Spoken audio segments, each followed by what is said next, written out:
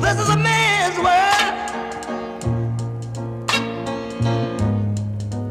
But it wouldn't be nothing, nothing without a woman or a girl.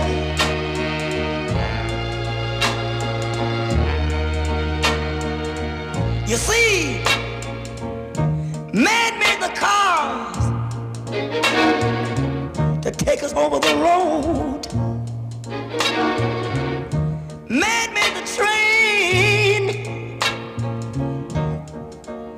Carry the heavy load. Man made the electric light to take us out of the dark. Man made the boat for the water, like Noah made the ark.